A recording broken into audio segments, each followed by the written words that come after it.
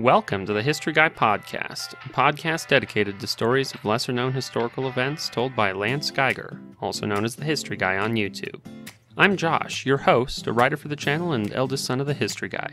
We tell all kinds of stories about history, from the modern era to the ancient past, so you never know what we're going to talk about next. One thing you can be sure of it is history that deserves to be remembered. On today's episode, the History Guy talks about two forgotten stories of the naval front of the Great War. First, he talks about the first naval battle of the war, which took place on a large lake in East Africa. Then he tells the story of U 156 and the only German attack on the American mainland in World War I, the Battle of Orleans. Without further ado, let me introduce the History Guy.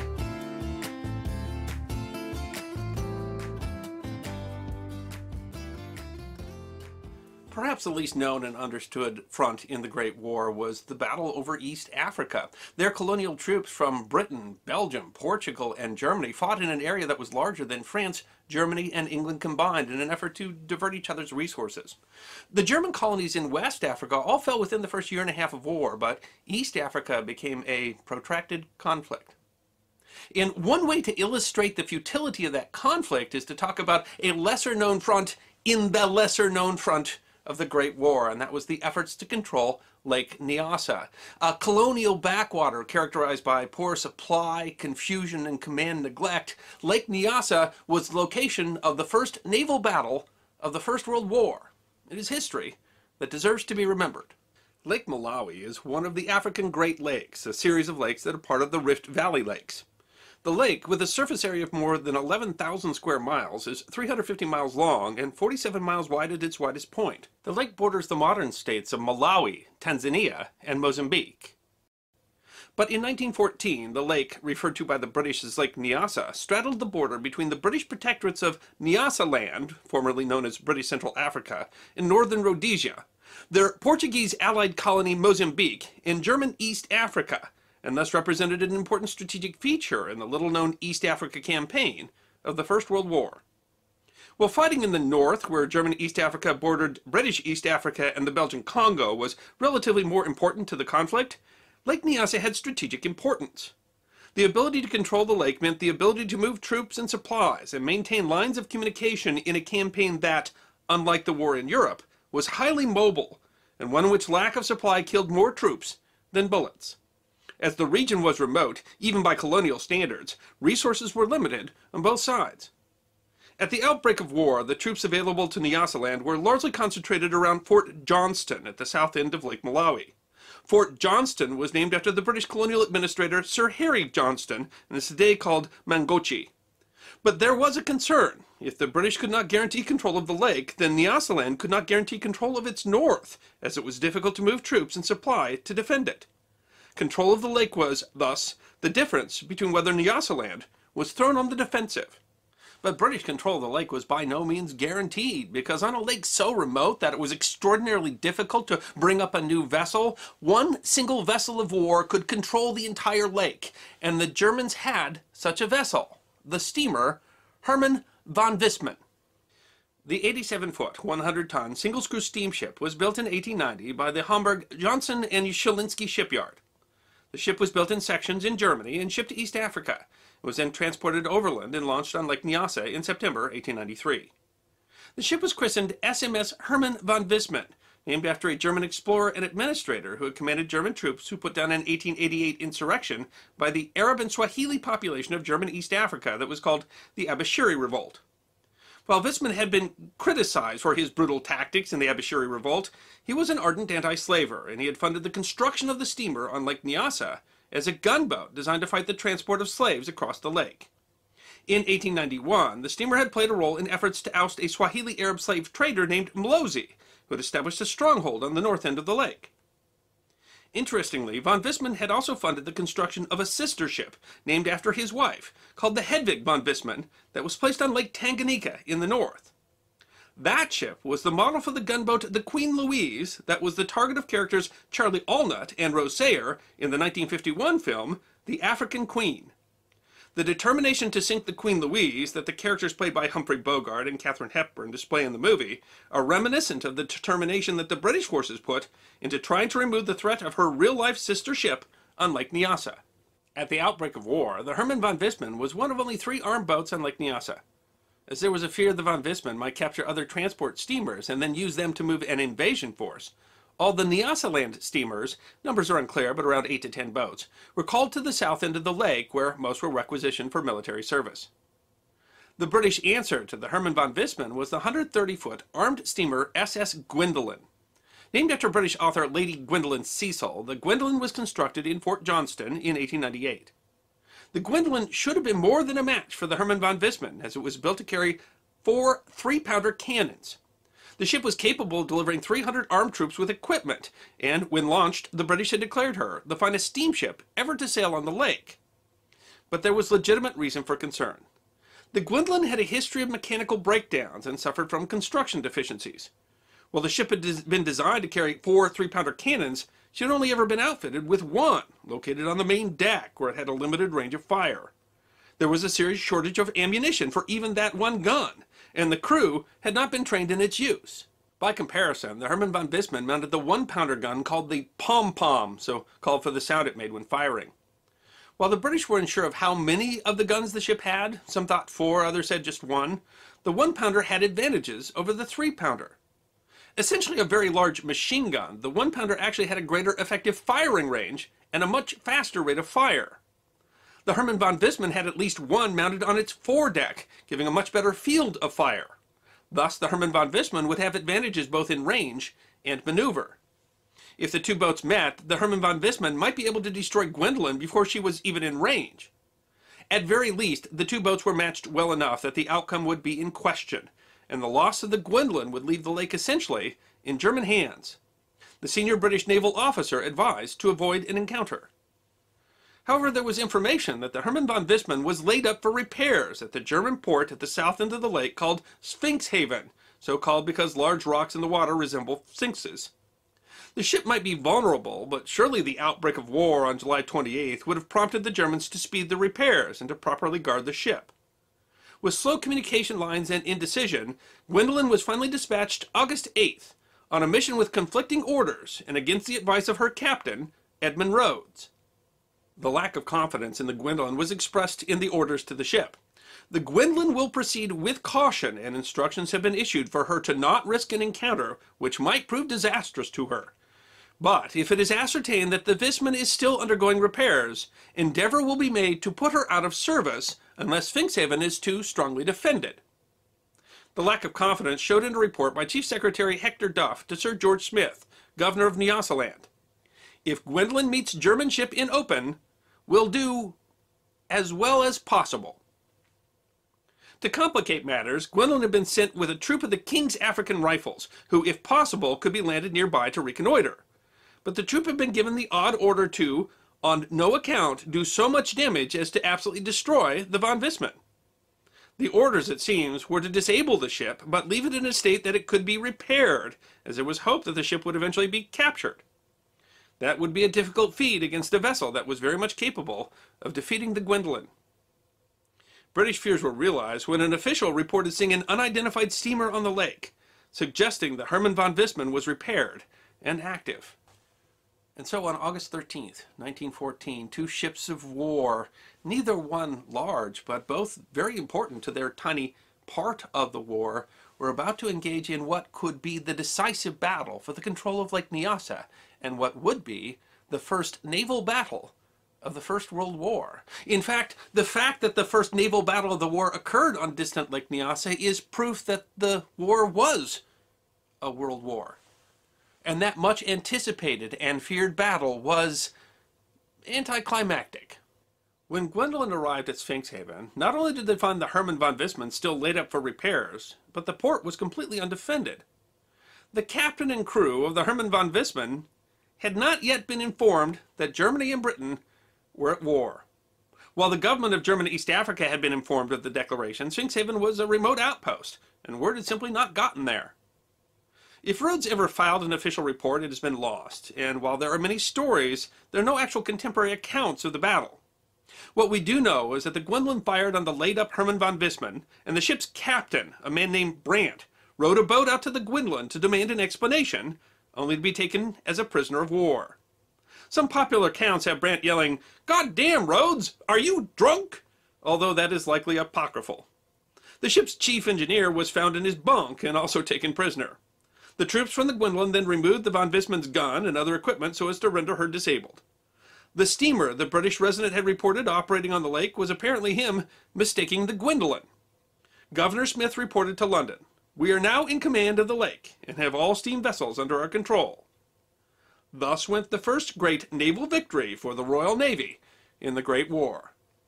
The victory allowed the British to release the other steamers for operation, allowing them to concentrate a part of the Nyasaland field force on the border with German East Africa, that in September, and with the help of fire from the Gwendolen, defeated a German force of approximately equal size, the only significant action of the war to take place in Nyasaland.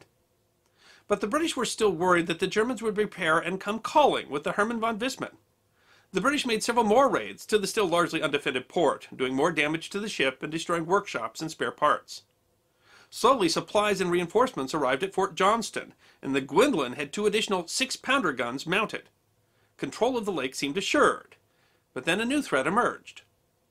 In October, the German light cruiser SMS Königsberg had been trapped in the Rufiji River in German East Africa by a British naval squadron. Königsberg was blockaded, but several of her large guns had been removed, and now there was a rumor that one of the large guns was being taken to Sphinx Haven to mount on the Hermann von Wissmann.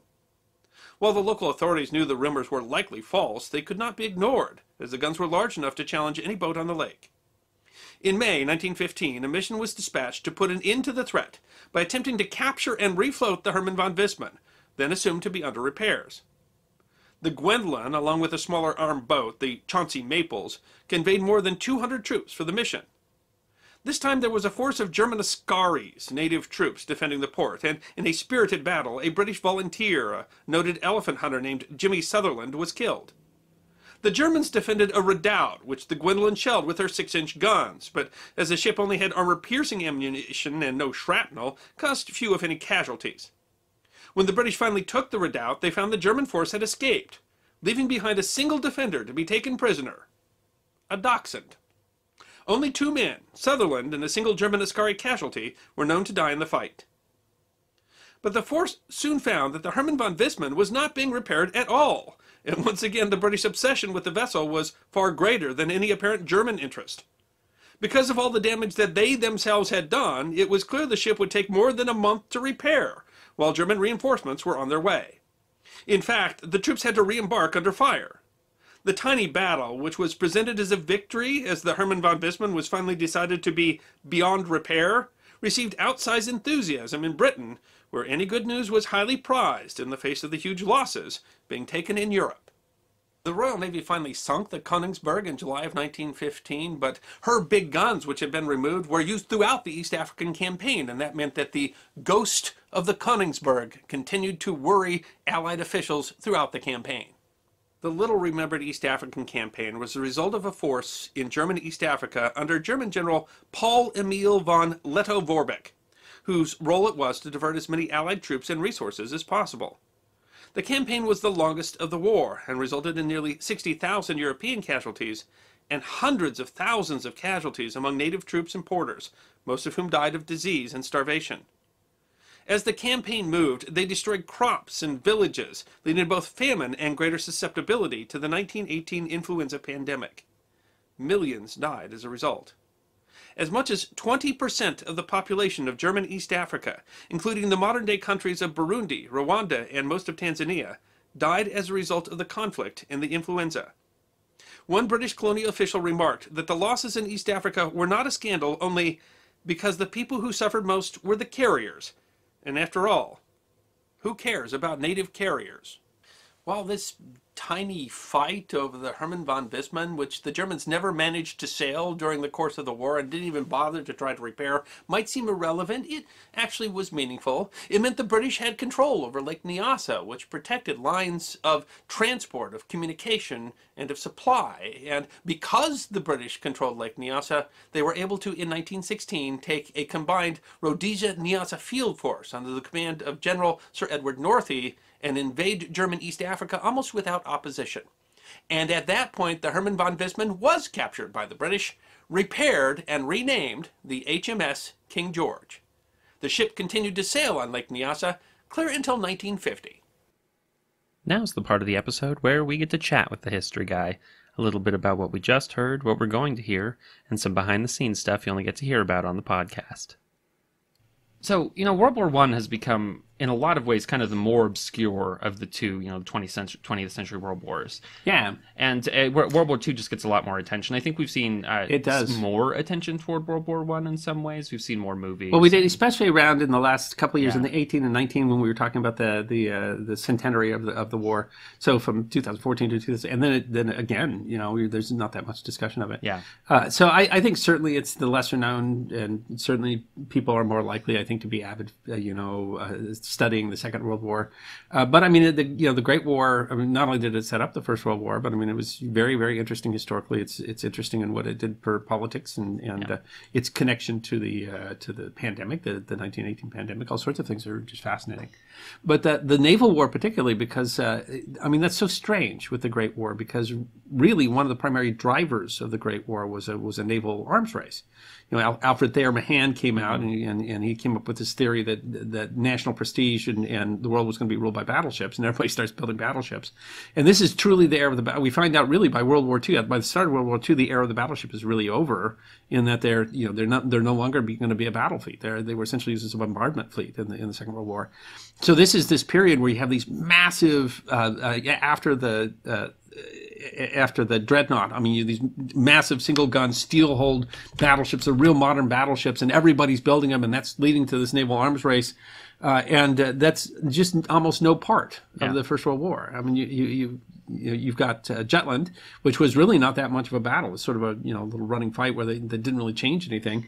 And then for the most part, those battleships, you know, the British battleships kept the German battleships from doing anything, and so they sat and looked at each other for the whole war. And uh, so it's really when you go to talk about uh, the the First World War, it's interesting. The thing that started the First World War is very little part of the discussion of the First World War. And even when you talk about the naval war of the First World War, I mean, the fascinating part is things like Lake Nyassa Yeah. because it ends up that everybody had built so many battleships that they couldn't use them. Uh, and so it was it was submarines. It was strange. It was strange things that they hadn't expected. So, Yeah. but it also is it is so indicative of that war. Which I mean, when people think of it as a world war, I don't you know I don't think people really understand. I still I still think when they talk about it as world war, they think about it as, as a European war. Yeah. And in fact, really, from where we are, I barely even talk about the you know the, the, the Eastern Front at all. Yeah.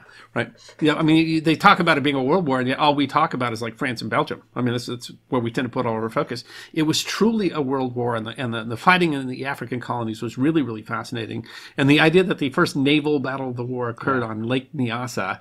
Uh, is uh, is just absolutely interesting, and uh, to, I, I do have to mention here though by my, my nephew, your cousin, uh, uh, Nicholas Herman, uh, and he's a great guy. He, he's flying for the Navy now. We're very proud of Nick. And, Nick was with the Peace Corps in Africa, and he visits Sphinx, Sphinx Haven, and Sphinx Haven where the where the battle occurred, and, and he posted on that, and that's that's how we got the topic idea. So thanks to Nick. Yeah. Uh, and uh, and it's really yeah, yeah I, I wish I could go to Sphinx Haven just to stand there and say I was here where the first battle of the the first naval battle of the First World War was fought. It's ultimately, Uh, it but really then it becomes- such an interesting little. It's it, you know this little lake that's out. I mean, no one would. Uh, mo- most people that you would ask, you know, in the United States would have no idea what where that. I've never was, heard of it. yeah. It's not a little lake. It's you're right, actually right. quite It's a actually large quite lake. large yeah, lake, but- those rift lakes are really big, but we don't. You know, we don't. We don't even think about them. Uh, uh, and uh, and uh, that this and how important it really was in the in the end. Uh, maybe it was more important that controlling the lake kept Germany from being able to cross the lake and attack Nyassa land and and uh, make it you know big because it was a big roving battle there. But I mean, it kept Germany all on one side of that lake. But I mean, it is it's fascinating how important this lake is. And the thing about the lake is not that it's small; it's actually quite large. The thing is, is that it's so remote. There's no good. You can't sail a boat up to it. You literally, they literally had to take these boats in parts, haul them overland to the port, uh, and construct them there. And that's why there were so few on the on the thing. And these are, you know, I, I guess you would say that the that the that the two ships were were uh, uh, built as as warships. Yeah. But I mean, really, no. They're, they're just they're river steamers, uh, and so they're it's a it's really a fascinating story. Though in the end, an anticlimactic battle. In the in the end, the story of the battle is the Germans didn't know they were at war yet. So which is so so so comical. Yeah, that's that's the entertaining part of this is that the, the, the British are just sure that the Germans are gonna Yeah. are gonna and, and ultimately, I guess, if you if you want to think about the German goal in that part of the world uh, is to tie up you know British resources, they didn't do a bad job, except that they didn't necessarily uh, ever think about the boat. The boat tied up apparently a lot of British uh, time and resources that uh, w- was unnecessary because the Germans really never, Interest and information, yeah. never thought and you know, they it. they hauled extra guns to to strap them to the Gwendolen and all that sort of Yeah. stuff. And Gwendolen never used her guns except to shoot at this a ship that was literally not in the. lay, laying on its side the entire war. and then eventually the British did uh, uh, did capture it and refloat her too. That's interesting Yeah, too. it took it took them a while because at first when you hear they're, they're like, "Oh, don't destroy it because we might want to we might want to reuse it." I'm like, I don't know, that seems a little delusional, and maybe you should Yeah. just destroy it because then there's no there's no chance that the Germans will. Uh, you know, bring it back. Whereas, you know, you having to capture it causes. But it was, it was the more, uh, the you know, the more warshipy of the of the pair, I suppose. Um, even though ultimately it wasn't really, uh, it wasn't, it Yeah, wasn't as powerful as as they feared. It never had. It wasn't. Yeah, it's interesting. Those those one pounder pom poms. Uh, they were. I mean, it was. It's a very large machine gun, and, and they actually ended up being very good weapons. Uh, and so it's kind of interesting because you, you'd have a lot of those on, on any given ship of the Yeah. day. Uh, I'd love to. The you know it, it involves the Königsberg, which is a really interesting story too, uh, because the, the I mean the ship ended up being you know not doing anything, but the fact that they took our big guns off and rolled them into Africa again tied up British resources the entire war, worrying about where they had taken the guns from the, the Königsberg, which is a which is there's a really good uh, there's a good movie um, called Shout at the Devil with uh, Lee Marvin. Uh, uh, that's about uh, the Königsberg. It's a, it's and uh, it's a, it's a really fun movie. If, if anybody listening here, if you have time, go check out Shout at the Devil. It's a really fun. Uh, Roger Moore's in that too. Uh, but uh, so, I mean, it ties it together. It's really amazing how that really ties to the Africa campaign, which isn't really discussed. And you know, it does. It talks about you know the the horrors of that Africa campaign. Really, it killed just uh, it killed huge numbers of, of civilians and villagers, uh, people that were pressed into service and ended up dying of disease or star- starvation. It was it was a terrible front of the war, and now we you know now we hardly even talk about Yeah, it. that's uh, you know. And the oddest front of that was the naval part of the of the Africa campaign on Lake Nyassa. Yeah, it is. I, you know, uh, you were talking about how we could forget how how big a world war it is, and this is really a great example of that because this is a place where uh, I think people forget that Germany even had colonies in Africa, um, and that, know, that was that was really where Germany's colony, colonies were. Um, they they didn't have as much. You know, they, they well they were late to the you know Germany wasn't a united nation uh, at the at the time that Spain Yeah, was at the time of the- the imperial period, yeah. stuff. yeah. So So but- they, I mean, but they, they also had West African colonies. Those did, fell yeah. fairly quickly. But I mean, this this this ended up being this campaign where uh, they chased each other all around Africa, and they mostly didn't die from fighting each other. They mostly died from walking through Africa, which could be, Yeah. you know, a good Well, way to they die. There. People the- died of starvation and disease, destroying the food you know, they- crops and destroying the food crops and behind them, and yeah, and so you know, causing mass starvation. yeah it's it's tragic uh, because it's it's this is a part of the war that you know honestly uh, people know nothing about uh, even if even if you are fairly familiar with World War One, you're unlikely to know that much about this. Uh, and it was it was an absolute tragedy for a part of the world that I, I think that we just don't even realize. Yeah, I mean, why it was a world war, but why? I mean, why you have to think they were wondering why they were involved. seriously in the war. yeah what was well and there was never uh ultimately there was there was you know there was some strategic that you wanted to keep your colonies i mean you didn't want to lose your colonies uh, especially for where that would put you after the war you know these colonies were valuable economically but Yeah, I mean, there, there was fighting there for a reason, Yeah. and there's a reason they had to put resources into it. But I mean, the people whose village they'd Oh, yeah. come through and destroy all the food so that the army behind them couldn't eat. yeah that's, You know, and then they and then they starve all winter, and then they also probably brought the flu with them. Uh, and then you know you're standing there. Your village used to have 300 people, and now there's seven of you left, and you're like, what What do we do? pretty pretty Uh, and and it, it it's got to feel pointless nature of a world 'cause, war. i mean you look back at it now it, you know 100 years out and it sure, sure feels like that part of the war was uh was very much a side side theater a side show Oh, yeah. to everything else and it's like my gosh that was the human cost Well, you- of something You like see that. in the nature of these of the boats that Yeah. are in the story. I mean, that they're how I mean, when you're that far. I mean, the, the you know the British boat had one gun. Uh, they only had a little bit of ammunition. The crew had never fired the gun. that's that's how remote we are. That's how much attention that they were putting into that. Yeah. Uh, and yeah, and there's there's funny parts of the story too. Whatever they, they captured a dachshund. And, and, yeah, that uh, was that. Well, there were never. the German captain rows out a boat, arguing, "Are you yelling? Are you drunk?" And they capture him. what are you doing? Why are you attacking? He doesn't even know they're at Well, war. Yeah, shooting at my boat. Yeah, he doesn't know what war. Yeah, Uh, but that you know, and this was ultimately the, the the the fight on the lake, and because they you know end up attacking the ship before it ever even gets out on the water, and they, they think it's repaired, and apparently someone had just misidentified the the Gwendolen. that all yeah, that was their own boat that they thought it was. was yeah. was very important to you know ultimately how that battle uh, how the fighting was fought because that that determined uh, where they could move troops and who could move troops and and stuff Yeah. like that but it was uh, it it ends up being you know essentially nothing goes on in that lake because they were they managed to be so effective at the front end of it but it at is the front end of it with their with the one boat. with the one with the one boat Yeah. that was poorly armed and And it's, it's strange when they go out on the thing. They're like, ah, you know, we'll do the best we can, and, and the kind of the orders are run away if you see it, and they, and Yeah. it turns out it's not even floating. Yeah, it's Totally uh, uh, you know it's it's an interesting part of the world, and those those steamers. I, I you know if you look at pictures today, I mean, because the steamers were used all over the the, the Rift Lakes, Mm-hmm. uh, and there's a lot of them. Just you know, you know, you can't get rid of them when they're done too, and they're just sitting there, just sitting on the you know on the shore, rotting away. or it's, and, it is uh, those- incredibly remote and Some of those operated, I think, into the '60s. Some of those steamers were- that they were using there in the first. Yeah, World you were War, mentioning that, that they, you know they eventually refloat the uh, the uh, what, what was it called the Wissmann and uh, Mm-hmm. are able and it stayed in service for for decades after you know after World War One. Yeah. Well, it's it's a lot it's a lot easier to fix one than to try to make a new one. on Well, the- or on try to carry it out there, but yeah, this was an area that didn't have you know they didn't have the the uh, manufacturing to build the ship Yeah. like that on the lake. And uh, these days, I mean, I have no idea what what kind of ships they they bring out there. Probably easier for us to I, move I mean, boats still still like be. steamers. I think are going there on Lake Lake Malawi now, Yeah. and you know that's. Uh, but I mean, I, I don't know. Ask your average American Lake Malawi. Yeah, Uh, they, they, of course the average American might have trouble finding Lake Michigan, so I, I don't want to I don't want to overestimate our Yeah, geographical might not. knowledge. Uh, uh, but uh, uh, Yeah, but that's you know that's that's it's interesting that we're able to talk about these parts of the world that I mean this is this is in a lot of ways truly forgotten history and this, these are yeah, people who or would you know would be if Yeah. we weren't trying to remember and to say you know Yeah. we can't because that was one of the comments I think at the end of one was talking. It was a was a British officer that said that you know many people died here, died in France, but no one cared because they were native Yeah. borders, and who cares about native borders? So Yeah. talk about people that deserve to be remembered.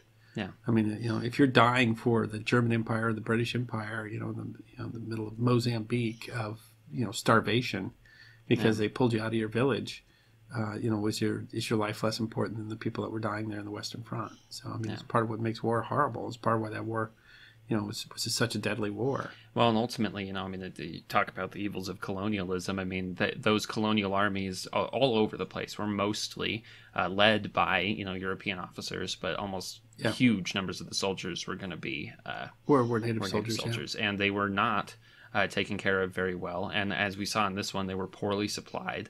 Uh, no one was really concerned about that. And you're right; it's because you know they were just the native porters. So uh, Yeah. if you lost if you lost thousands of them in a battle that didn't really seem to mean anything anyway, uh, wasn't it wasn't a big deal to the Yeah. higher ups. They weren't. This this long fighting, yeah, was and, and now we even forget them. So it, it deserves to be remembered. I mean, and it is, you know, it's significant in being the first naval battle Yeah. of the First World War. And at the time, uh, there was not a lot of good news for the British Empire. It was actually touted as being a much bigger battle than it, you know, than it ever was. Uh, it was touted as if you know we were we were beating the Germans in the Yeah. field. We're, we're winning in we were the, shooting we were shooting the boat that was laying on the shore with the guys. but it was didn't know they a, a major victory in East Africa. Um, and this, and you know, it's a part of the uh, this these concepts of we we talk about, and we, you know, I've talked about this before that you know, if you go back and read the front page of a newspaper. Uh, Every day, there's stuff that was going on that was, you know, that was vitally important. The people who were, I mean, it was the front page of the newspaper. These are things that people cared about when they read it, and uh, and ha- that has just been totally forgotten now. And, and Yeah. we, we talk about, you know, that that happens in World War One and World War Two. Gosh, there's the famous the famous one where he tries to capture Rome uh, days earlier because he wants that to be on the front the front page news before. And you know, now I, I Uh-huh. that you wonder how how much how worth it was really to to move that a couple of days forward when that's it. That's that's the kind of stuff people people forget a lot of that, and we no longer are you know super excited about when he captured Rome and he wanted to be on the front page. At the time, yeah, capturing Rome was a huge deal. It was the first of the of the ex captured uh, capitals captured. And now, I mean, we don't really, I mean, you don't even talk about the capture of Rome very often. Remember back that whole Mediterranean front? We don't Yeah, talk- that's- we talk about it a lot because we like forgotten history. Yeah, and that's I mean, know, which is ultimately uh, yeah. We talk about the Italy. Well, the, and Yeah. you know the, the the Italy the Italian front was such a such a big deal at first because well, we're not really talking about that. But but yeah, I mean these parts, these things that were ultimately very important that people thought were very important at the time, and uh, even Uh-huh. were presenting as more important than they actually were, and then it's it all just becomes you know essentially forgotten history. Yeah, and it's utterly forgotten. Yeah. Yeah, I, I, this this uh, I, had Nick not uh, been there uh, for uh, Yeah, would we for have- the Peace Corps? I mean, I might not have known about this, and it was really a fun one to study. It was really uh, really an interesting story.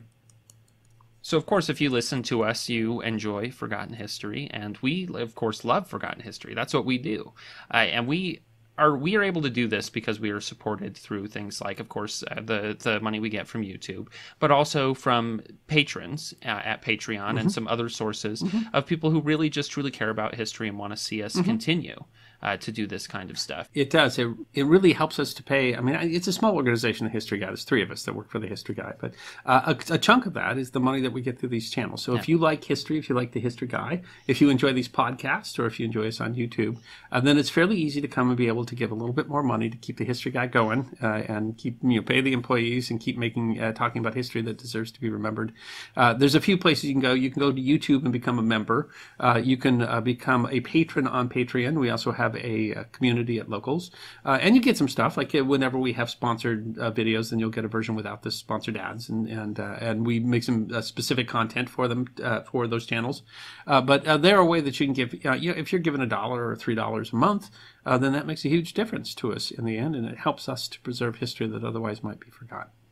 If you really love the History Guy, then we have some new opportunities going on right now, and that is we're doing some trips with the History Guy.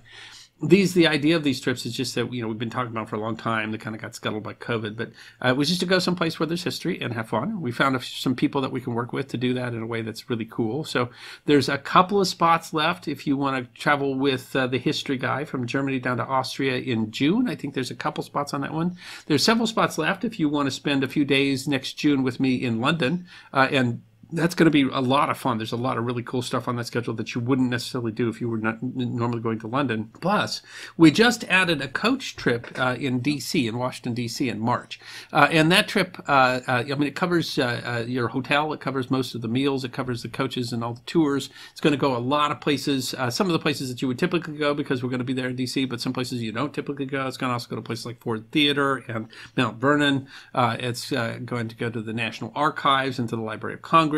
Uh, we're going to see the Supreme Court, but we're also going to see the you know the Capitol building, uh, and it's a great way. I'll be on the coach with you, so it's a great way for you to meet the history guy and talk. And if you look at the if you look at the cost of it, we've really tried to keep these costs right. So we, especially when you consider hotel rates and everything that's on there, these are I think these are running at a really really good rate. So there's slots available if you're interested, uh, and uh, you can uh, get those on our webpage at thehistoryguy.com. You can also you know give us a donation there if you want to just donate to uh, keep keeping history alive. If you think history deserves to be remembered, and, and so there's a lot of ways you can support the history guy and keep these podcasts going, and uh, and you know learn about things you might not have heard about, like the the battle at Lake Nyassa. Next up, the history guy tells the story of the Battle of Orleans, the only time that the German Navy attacked the American mainland in World War One. Over the course of the First World War, a number of nascent technologies like airplanes or radio developed to the point that they were much more mature technologies that would then go on to transform the world. And one of those technologies that developed during the war was the technology of submarines. While military submarines had been developing rapidly over the course of the 19th century, they really only became a practical tool of warfare in the Great War. On September 5th, 1914, the Imperial German Navy submarine U-21 sank the British scout cruiser HMS Pathfinder and became the first submarine in history to sink another ship using a torpedo that was self-propelled. And the German U-boats would go on to sink more than 5,000 ships over the course of the war. By the end of the war, German U-boats were able to operate off the coast of America, which itself represented a significant development in the technology over what submarines had been able to do even at the beginning of the war in 1914, and resulted in a little remembered event where the Imperial German Navy was able to attack the shores of America itself.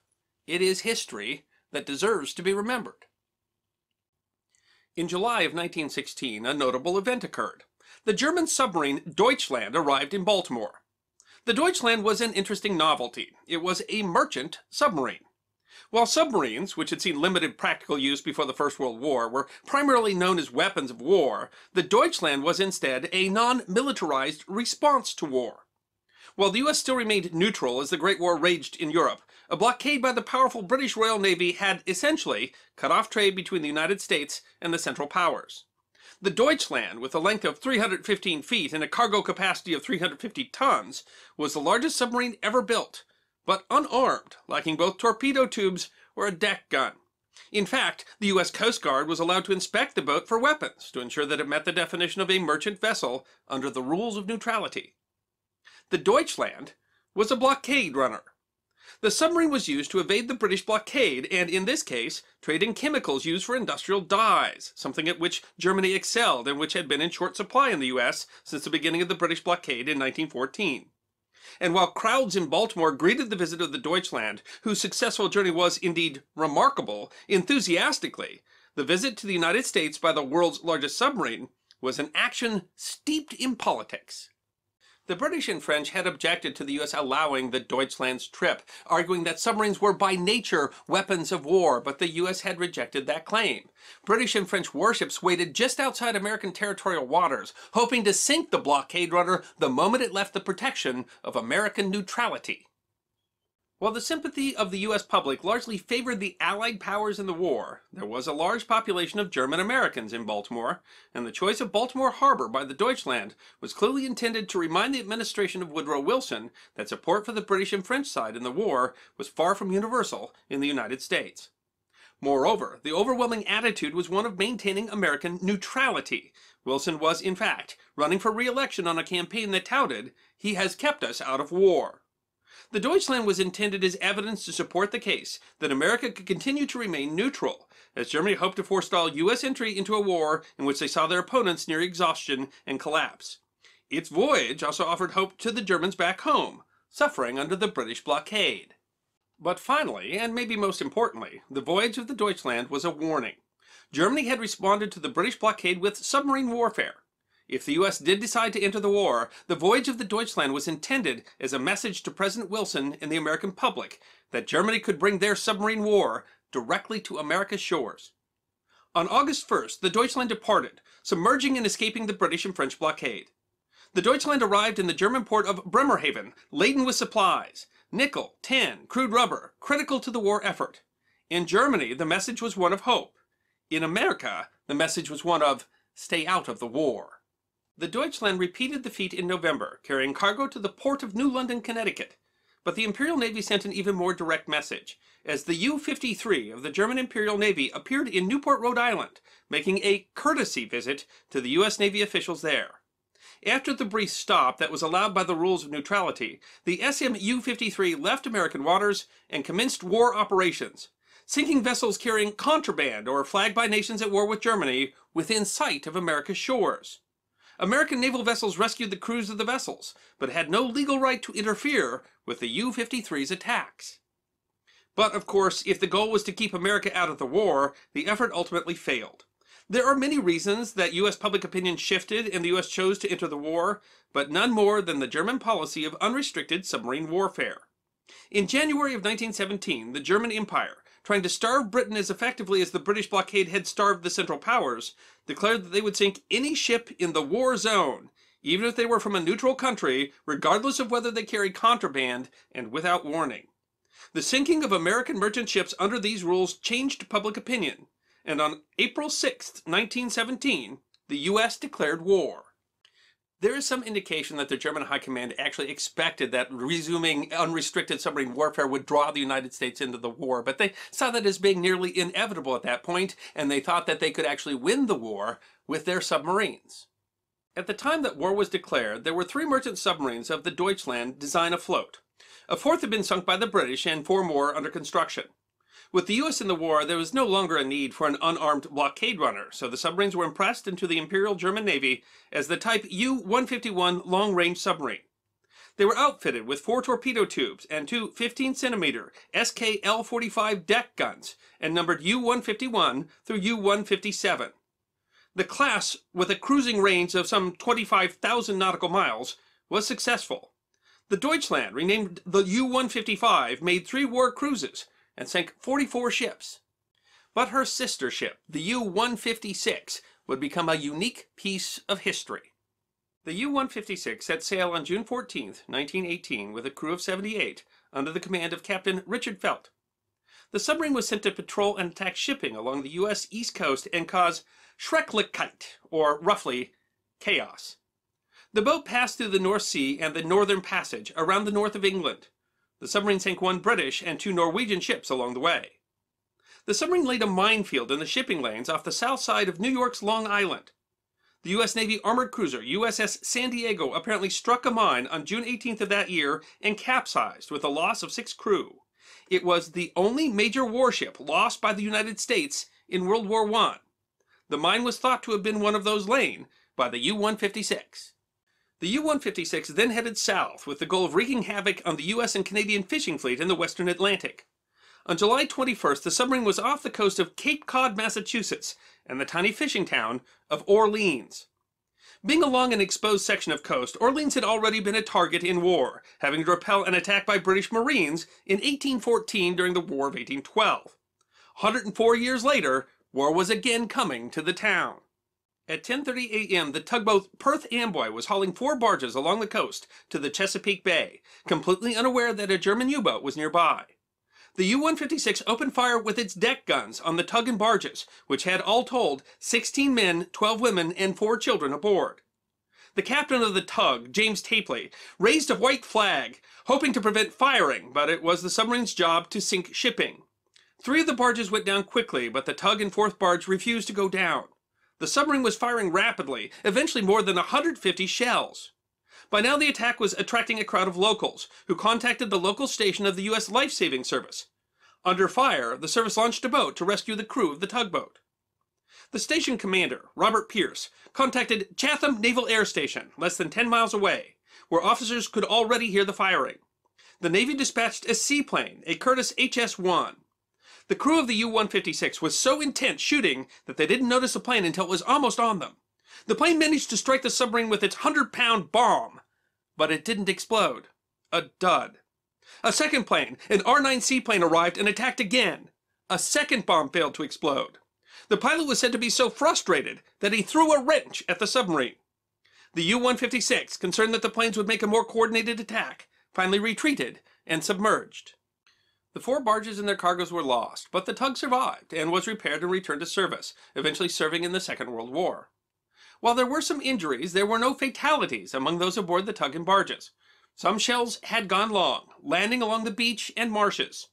They had caused no casualties, but they represented the only Central Powers attack on the contiguous United States during the First World War, and the first time a foreign power had shelled the United States since the siege of Fort Texas during the opening stages of the war with Mexico in 1846. The event was dubbed the Battle of Orleans, there was speculation that the target may actually have been the station for a transatlantic cable that went from Orleans to Brest, France. The tug and barges had either been a target of opportunity or had simply stumbled into the line of fire. Having wreaked havoc and created some panic along the coast, the U-156 then swung north and attacked the American and Canadian fishing fleet, sinking more than two dozen fishing trawlers and barks. They seized one, the Canadian steam trawler Triumph, and placed 16 members of the U-boat's crew on board. She acted as a surface raider, sinking another half dozen fishing boats before the ship became too well known and they abandoned and sunk her. The U-156 sunk so many boats that the fishing captains refused to go to sea, essentially shutting down the Western Atlantic Bank's fishing fleet. They sunk another half dozen boats in August, in all accounting for 34 vessels, for a total of 33,582 gross tons. Running out of munitions and with her batteries running low, the U-boat then evaded the American and Canadian warships pursuing it and headed for home. But the boat's luck ran out. That summer, the U.S. Navy had been laying a massive minefield north of Britain's Orkney Islands called the North Sea Mine Barrage. The U-156 had radioed as it reached the barrage, indicating the route it had planned to take, but the message was intercepted, and the British had sent a submarine of their own to intercept them. The U-156 had managed to avoid the trap, but had submerged to do so. In traversing the minefield submerged, she had apparently struck a mine. The U 156 never made it home, a presumed victim of the minefield. Submarines transformed the nature of warfare during the Great War and offered a challenge that navies found difficult to counter. The Imperial German Navy's 340 U-boats tied up thousands of Allied military vessels and airplanes and still managed to sink thousands of Allied merchant ships and significantly disrupt commerce and supply between the United States and Great Britain for a loss of 178 U-boats. The guns of the U-156 didn't do a lot of damage to the state of Massachusetts, but its voyage did a lot of economic damage to the United States and Canada and transform Americans' perceptions of the war. And that was just a small taste of what we would see with the U-boat attacks that would come during the Second World War. The voyage of the U-156 is history that deserves to be remembered. So we've talked a few times about uh, World War One submarines. It's really a period of we went from submarines were kind of barely a thing and could only only had so much distance in the, at the beginning to by you know by even partway through World War One, submarines had had massively matured as a technology, and Absolutely, very, very quickly, Yeah. and, and totally transformed warfare. Absolutely. But I mean, who knew? I mean, this is really fun. Who knew that there was ever built a, a, a commercial submarine? Yeah, Uh, well, I mean, today, because you know, I guess drug runners, you don't run them today, use these submarines Yeah. or whatever, and they, and they and they chase them. But I mean, this was built. This is built to be a big transport ship, but a submarine that could that could get through the blockade. So the Deutschland is really an interesting story. How it was built that way, that it was able to successfully make a trip and pick up, uh, you know, uh, uh, rare items that they needed Yeah. and get back. Because America was technically neutral. If you could get through the blockade, then you could trade with the U.S. Uh, so it starts off with this really interesting story. Of the of the Germans with this massive uh, submarine, Yeah. and then, of course, you find out that uh, the moment that the, that you know they're at war with the United States, it's actually very much built to be turned into a warship very quickly. it was i mean ultimately uh, you know the, the this concept which is really cool this idea of let's have uh, submarines that that can you know do this trans this this stuff to i mean that was in a lot of wars you know getting supplies is is uh, well is the most vital part of the of. Absolutely, the I whole mean, that's the whole battle of what the Atlantic was about. It was it was all about cutting off trade with each other. So, a trade submarine, a, a, a transport submarine like that is an interesting idea, and it's something we you know we've never really even thought. Even in the era of nuclear submarines, uh, no one seems to be making submarines to be carrying cargo. which which makes you see maybe it was it was just not uh, um not that not that efficient and ultimately uh, you're still better off in general uh, moving it on a big ship that you can put on you know you can make the ships much bigger they can store much more efficiently um but it, so it's only really when you know Yeah. you're avoiding But I mean, you're you're, you're, you're trying to get through the, that, the, you know, the British looking at, blockade. you know, yeah, that's. Ukraine So yeah, where they're sinking all these ships that are going out. I mean, maybe if you had the ability to move those by submarine, that that you know that could that could be impactful. It's true. I mean, it could be interesting because we can make submarines much larger. Today, But we don't seem to talk about that could at the concept. So I mean, the the, the, the visit of the of Yeah. the of the ship is interesting. Of the of this large submarine is interesting, and and uh, at, at the same time that another U boat just shows up in, in Maryland too to say hi, uh, and you know, and, and so, but it's very clear that a part of that, a really hidden part of that, is they're trying to keep America out of the war and they're trying to warn America that our our shores are vulnerable to submarines. And the, the interesting thing is, we just didn't we didn't learn that lesson. I mean, both world wars, when the war started, we were utterly unprepared for the submarine menace. Uh, and so then, her, you know, her sister ship comes back and wreaks all sorts of havoc. and it ends we're up being totally I, I mean in both wars you know the submarines end up being this huge existential threat and you know you you wonder if there was any uh, if there was ever really enough uh, german submarines to cause you know enough chaos in the united states to, to you know truly you know say blockade us or anything like that. I don't. I don't think there probably was ever really, but that was never really the point either. Uh, the the goal was simply to threaten No, I mean, well, their goal there was to keep America out of the war. Yeah, but I mean, c- certainly, uh, I mean, certainly, they very much Oh, yeah. threatened the existence of England. Uh, submarine warfare, very much. I mean, England was completely dependent upon trade and, and import. And you know, that's interesting. You know, today, could that be true? I mean, uh, uh, you know, if uh, if there was, would the submarine war be uh, still a possibility today? Or, uh, you know, shoot, we might go nuclear instantly. But I mean, you know, uh, could there be, uh, you know, if there was conflict, say, between the U.S. and China, which we, well, we, you know, we hear always like some sort of fear of that. I certainly hope that's not coming or anything like that. But I mean, would there be a matter of trying to cut off each other's trade? Of course, you know, we trade so much between the two of us that you know all they have to do is not let Chinese ship leave China, and there's a lot of stuff we'd be in trouble on. But then again, you know, they, they would be too, I guess.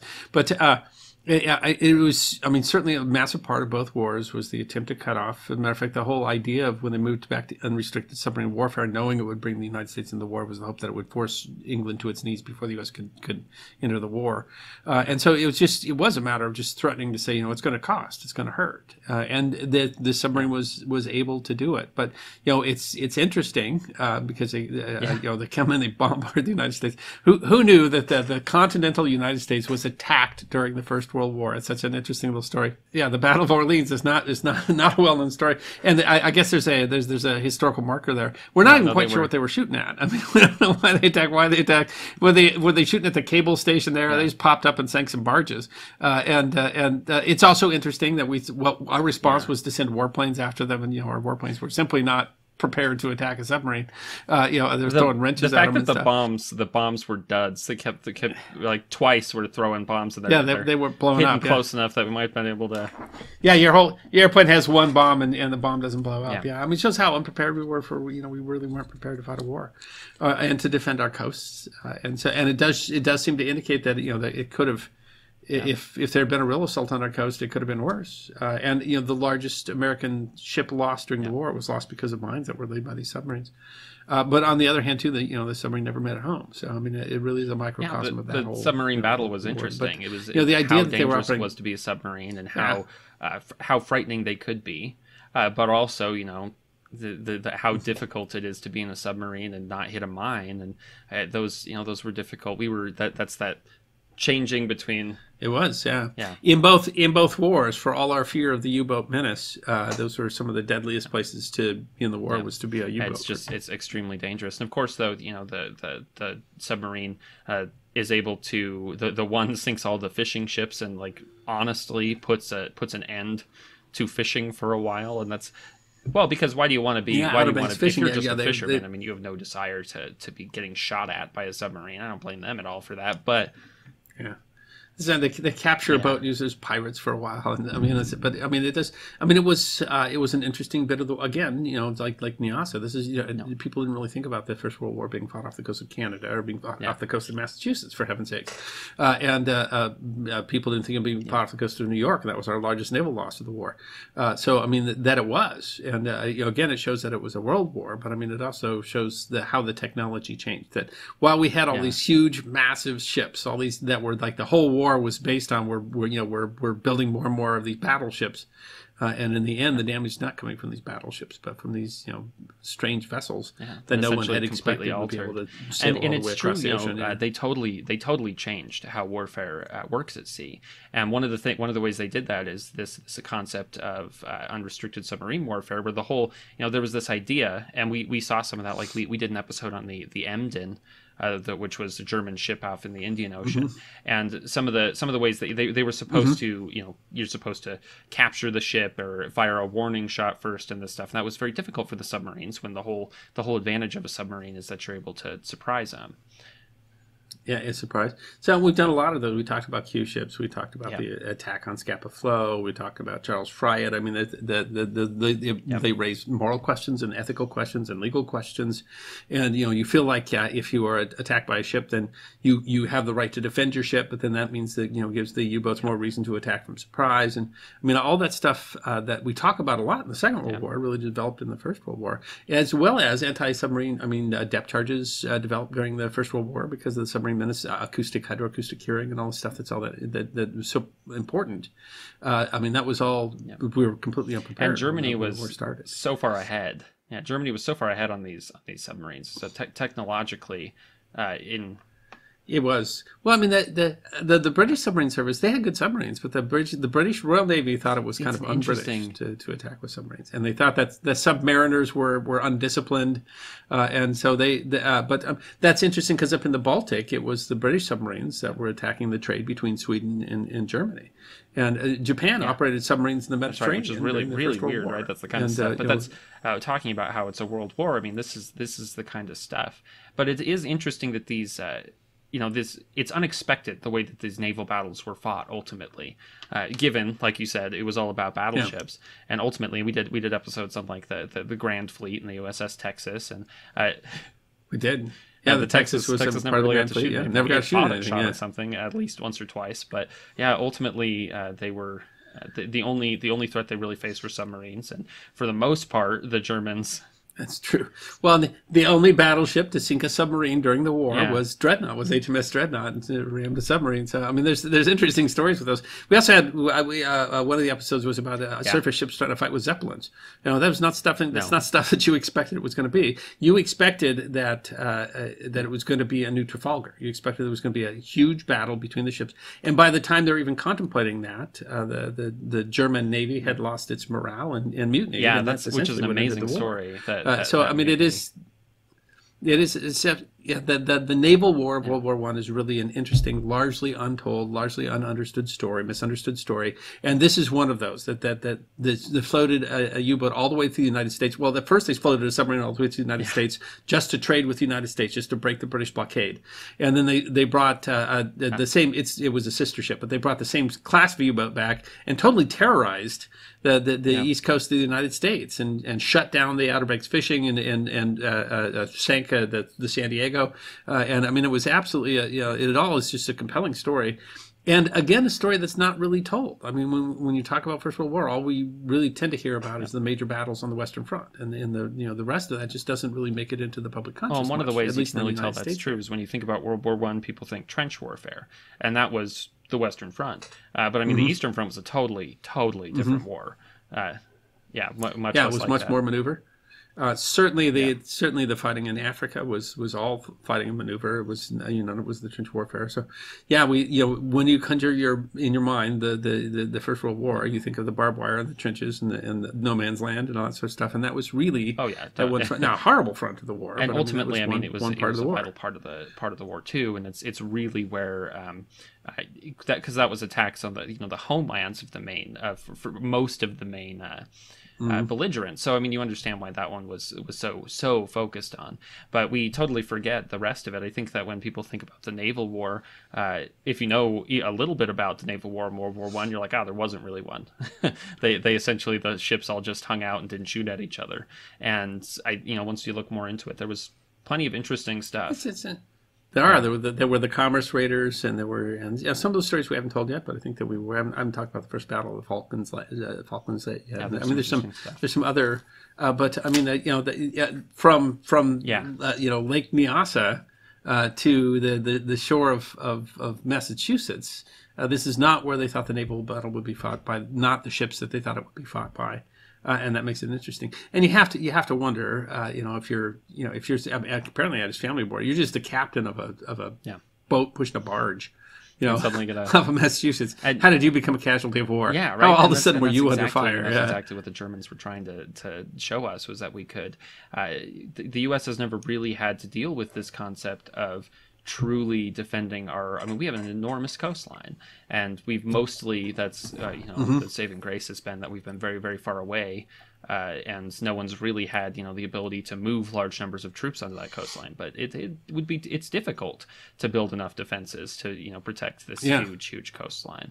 And we were, we were unprepared in both wars, and we spent a lot of time in both wars being very afraid of what that, you know, what that might mean. I think that that was, in terms of anxiety for the home front, a rather large part of it was, you know, what happens if submarines uh, release troops and they, you know, something like that. I mean, what if, what, what if something like that Yeah. happens? Yeah. How prepared are we for that? Yeah, if they if they land Yeah. saboteurs or whatever they're landing, yeah, you know, if a, a ship that big, they would if they'd shown up with hundred troops, how much damage could they have done? You know, before we would have been able to respond.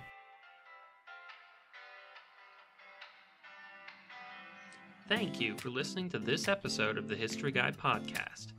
We hope you enjoyed this episode of Forgotten History, and if you did, you can find more on our website, thehistoryguy.com. We release podcasts every two weeks, so stick around if you want to hear more podcasts of Forgotten History. You can also find us on Facebook, YouTube, Instagram, Twitter, and Patreon. You can even get a personalized message from the History Guy himself on Cameo.